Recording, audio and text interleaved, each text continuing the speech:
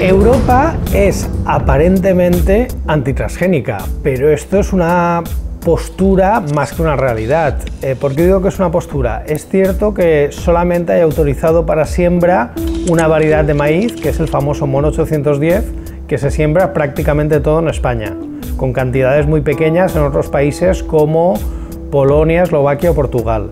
Sin embargo, hay que decir que Europa está importando casi 100 variedades de transgénicos diferentes. De hecho, en el mes de julio del 2017 se aprobaron 5 variedades nuevas. Ahora mismo en Europa eh, tenemos soja, maíz, colza y algodón transgénico que estamos importando pero no estamos sembrando. Y decir que todo esto eh, hace referencia a la agricultura. La ley obliga a etiquetar cualquier alimento que contenga transgénicos. Esto es otro ejemplo de mala política o de política extraña. ¿Por qué? Porque estamos gastando un montón de millones de euros haciendo análisis de que los transgénicos que pasan la frontera en Europa estén dentro de la ley, eh, estén correctamente etiquetados, pero luego los europeos nos vamos de vacaciones a Estados Unidos, no hay normativa de etiquetaje y entonces estamos comiendo transgénicos sin etiquetar y no está pasando nada.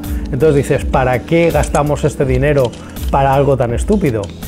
Eh, insistir que todo esto hace referencia solamente a los transgénicos de alimentación, los transgénicos de farmacia, los transgénicos de industria, ahí hay una barra libre absoluta. Hay una barra libre absoluta porque nadie se ha preocupado de que sean malos, son útiles, nadie ha hecho una campaña de opinión en contra y entonces como a la industria le hacen un servicio y al consumidor le vienen bien, se utilizan. Y se utilizan, entre otras cosas, porque son seguros.